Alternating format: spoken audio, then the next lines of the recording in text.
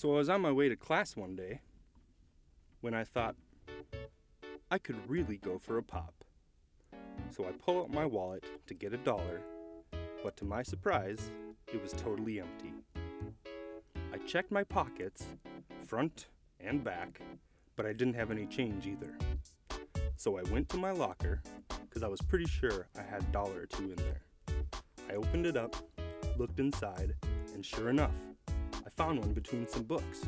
I was like, yes, because I was really getting thirsty. So I went back to the vending machine, put the dollar in, and selected my pop. But the vending machine spit the dollar right back out. So I tried it again. And it spit it right back out again. I checked the dollar bill for rips. I smoothed out the corners. But the vending machine still would not take it. By now, I was crazy parched.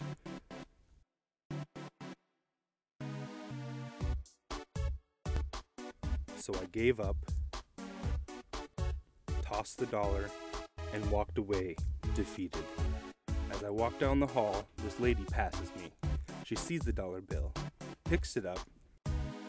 She goes right to the vending machine and tries the dollar. This time, it immediately takes the dollar and gives her the pop.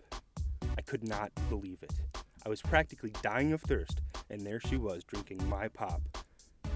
I just couldn't take it. And then, my head exploded.